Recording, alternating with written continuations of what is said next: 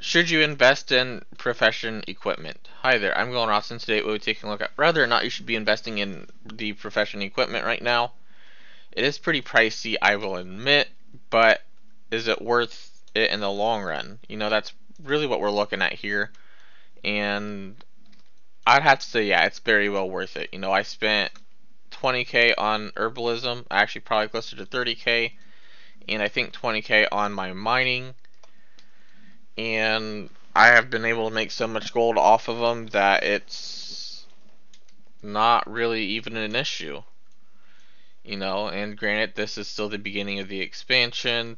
Prices are still going to fluctuate very much so. And, you know, you just don't know really what to expect when it comes to prices because one day the prices could be really high and then the next day could be really low. So it is really hard to determine whether or not you should truth truthfully actually like invest in these.